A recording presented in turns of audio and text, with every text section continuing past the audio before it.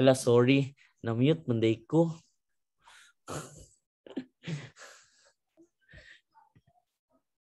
Sige. Uh, just imagine na lang sa akong gisulti class, no?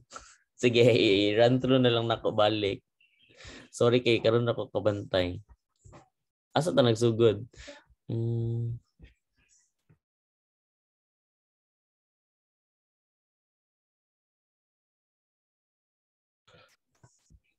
Asa na ko nag class?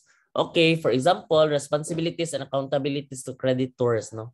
Of course, we should give correct information sa ilaha, no? With regards sa suppliers, dapat mag-pay on time ta, no? Because also, they really need that money, no? For, for their capital para maruling ilahang business, no? Responsibilities and accountabilities to consumers, no? So dapat kung unsa atong nabayran, mao jud ang quality nga atong madawat, no? Uh, we we may also give free training. For example, Perfect Billing Corporation dira sa Tagum City. So they give they always give uh, trainings and seminars sa ilahang mga consumers on how to do this, on, how to do that. No? Then be fair with the prices. No? Uh, I always uh, telling this one no dapat tama ra pud ang pagpresyo no? Dili pud mag overpricing like for example nangumpra tag, tag 100 pesos ang per item. Uh, dili pud fair and just kung ato ang patong is 100% no? Meaning uh, ah, 200 atong baligya no? So at some point makonsensya pud ta dapat mga inana no? Be honest in advertising and marketing no? Particularly kung sa advertisement dako kayo ang ang product. Sa personal kay dili di ay no? So dapat uh, kung unsay nasa advertisement mao pud jud ta dapat atong madawatan no? Attend to complaints no? That is also a responsibility of an entrepreneur no? Complaints are somehow nindot no? Because na kay feedback na madunggan no coming from the consumers or customers. Then service after even sales no? Even after nabaligya na na siya we should give no? Uh we should give what what's what uh mga warranty no? Uh, paghatag na warranty of course kanang maghatag ta og serbisyo gihapon no? Sa ilaha. Then respect customers time no? Particularly kung nagdali ang customer we should give uh, pinapaspas pod nga service no? Then treat customers well. Particularly dapat jud uh, fair and just atong treatment sa atong customers. Dili pasabot nga nindot ang sanina no? Nindot ang pamarog uh, mas respetuhon nato kaysa sa uban no? Then responsibilities and accountabilities to the general public no? So of course we should consider public input no? Kasabot if there are comments suggestions coming from the uh, people around no dapat i-consider po nato next is take care of the community no for us to have this sustainable development we should also take care no of our community Next is responsibilities and accountabilities to the environment. No? Comply with environmental legislation, dispose waste properly, recycle, and all. No? So here in the LGU Kapalong, we have this ordinance no nga bawal na mo gamit og single-use plastics no. So so as an entrepreneur, we should follow that no uh, ordinance no. So good thing because that would really help no our environment. Next is legal issues in entrepreneurship. So we only have five minutes. So hopefully we will uh, finish this one on time. So entrepreneurs often face the challenge of establishing their own structure. So entrepreneurs are expected to pursue innovation while considering the legal constraints and limitations. So this offered pressure to new entrepreneurs as they need to learn the legalities and be constantly updated with the new policies that concerns their business. So it is really important class nga hilig pud ta magbasa no particularly mga legal uh, nga mga aspects no Kay para if magtukod tag business dili ta ma-blind no sa mga dapat nato sundon ay legally. First is the IP or intellectual property. So this refers to the creation of mind, inventions, literary and artistic works and symbols, names and images used in commerce, no? So this is these IP rights allow the creators and owners to be legally protected. No?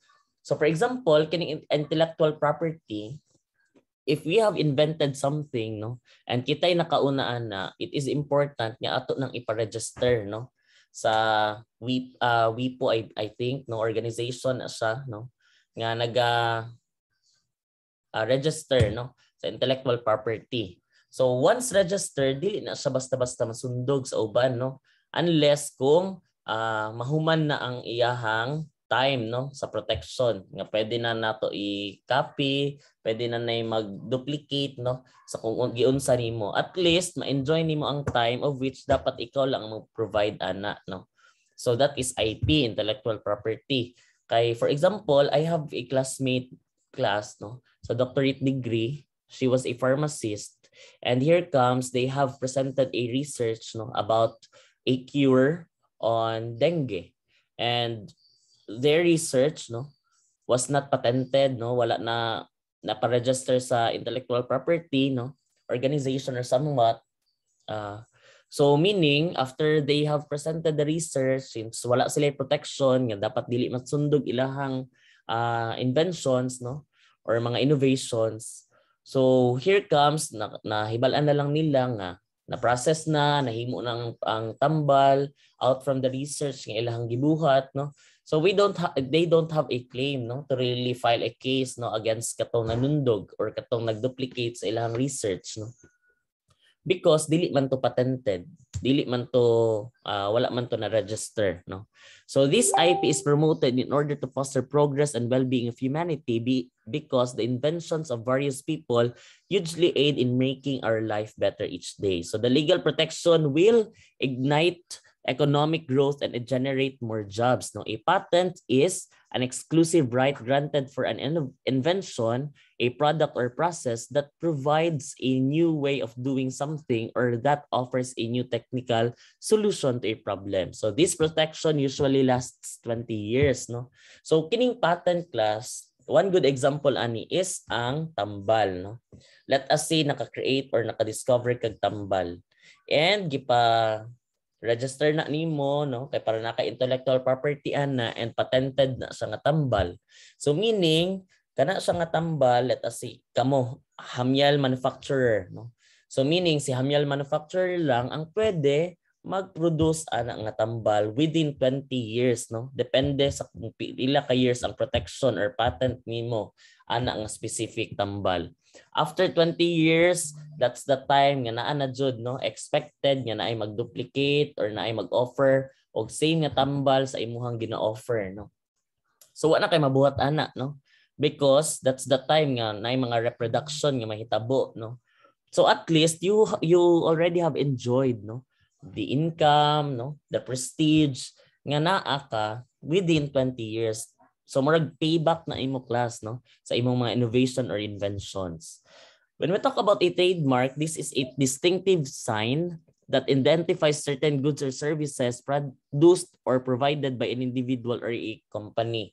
So pag mo intag trademark, trademark sa Nike or Nike, di ba kanang check, no? So depende kung unsay trademark, no? That is somehow a distinctive sign. So we have a two categories of intellectual property industrial property, and copyright. So the patents for various inventions, trademarks, industrial designs, and geographical indications are included in this category sa industrial property. Si copyright naman, this includes the literary works no, such as novels, poems, and plays, films, music, artistic works, and architectural design. Rights related to copyright include those of performing artists in their performances and the like. No? So mao kining duha ang nalahi no. Si copyright is more into mga literary works no.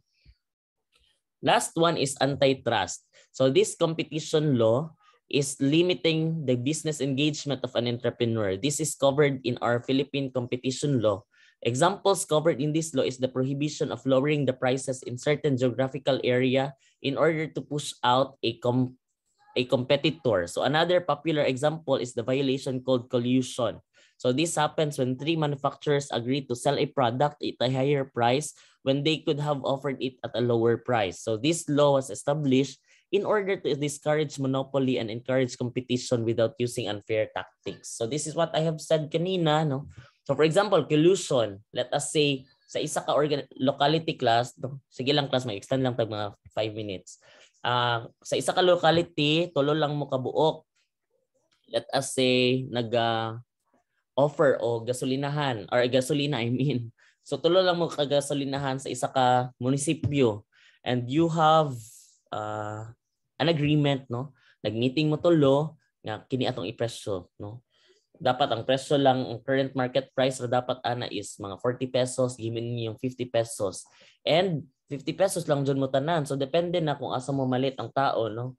So that is somehow and and gipatas-an ninyo ang prices because you hold na hold ninyo no ang market no na mga monopoly nga nahitabo so that's not good no And also, dili pod maayo class nga for example, kato akong example ganina, no? Kung tayo tulo mo kabuok, then nagsabot ay kung tayo ikaw, nag-offer kag baba kay nga presyo, no?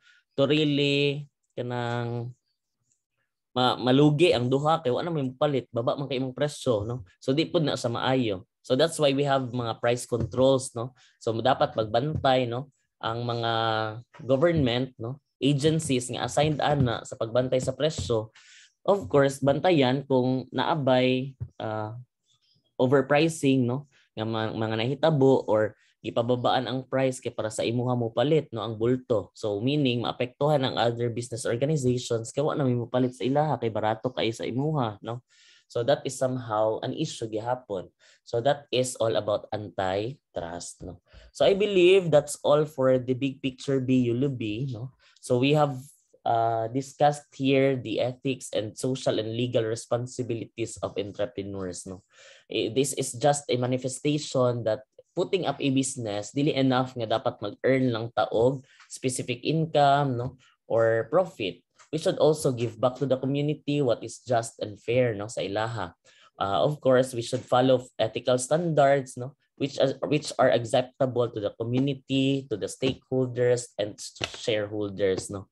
And also we should be uh, knowledgeable no sa mga legal aspects no in putting up a business. No. For example, if you have invented something, dapat ipa-register dyan ani mo siya no? Sa para na ka intellectual property right ana sa nga invention no.